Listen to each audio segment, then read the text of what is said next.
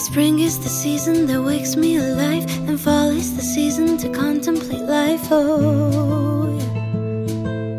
I don't know what is it exactly in this time of year that makes the melancholy me reappear. Oh,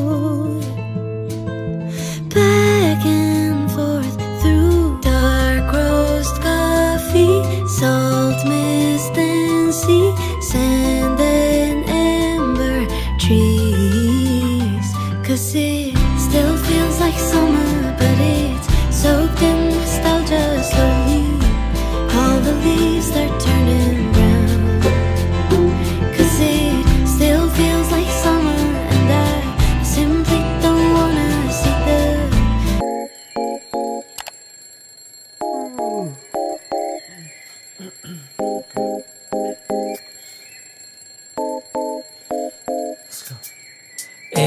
couldn't fall asleep again. Been overthinking all the little things I've said. I'm sleep deprived almost every night, and I wish that I wouldn't think instead. I know the sun is up and I got things to do, but I don't think I've got the energy to move. And I go back to my dreams again.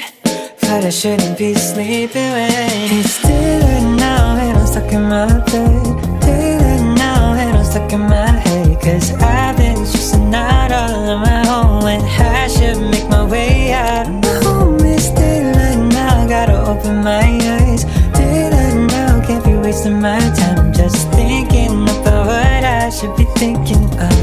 And it's about time that I get Days up staying in the same bed I need a kickstart just to change this I don't wanna waste a minute on the basics But it's keeping me feeling so amazing Stop stretch, brush my hair Always looking like a mess Oh, and maybe I could go and do the rest Give it a little more faith, I'll be set And I hope that you Tali na ako ng hair. So, haggard ka na. kanina pa tayong umaga. Kanina pa kami yung umaga, biyahe ng biyahe. So, kasi kaninang umaga, um, pumunta kami sa High Precision Diagnostics um, Clinic. Um, sinamahan ko kasi siya sa kanyang medical. And then, ano siya, actually, ano yun, pre-employment requirements. Kasi, magka-work kami, pero iba kasi yung um, outsourcing company ba yung tawag?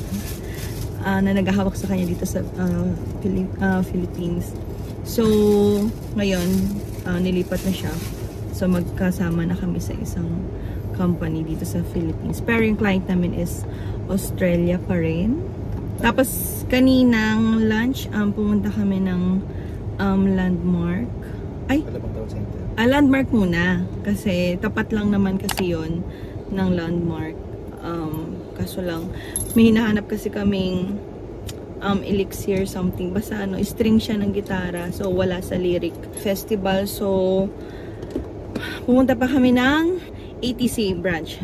At least doon, meron na.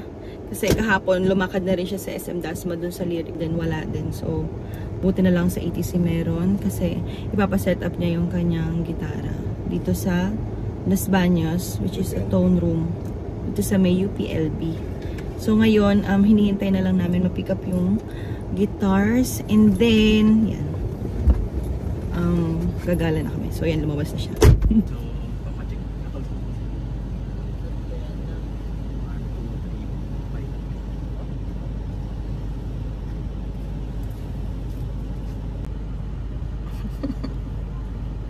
Saya ka naman. Hindi pa yan ah. Wow.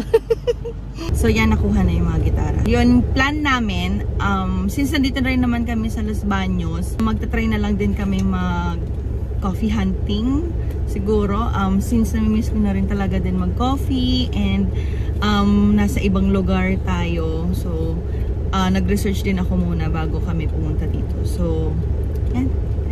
Samahan nyo kami today and let's go! Let's go, let's go, let's go!